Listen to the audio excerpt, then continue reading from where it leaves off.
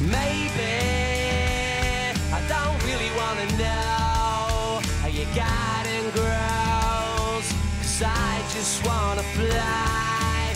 Lately, did you ever feel the pain in the morning rain as it soaks you to the bone?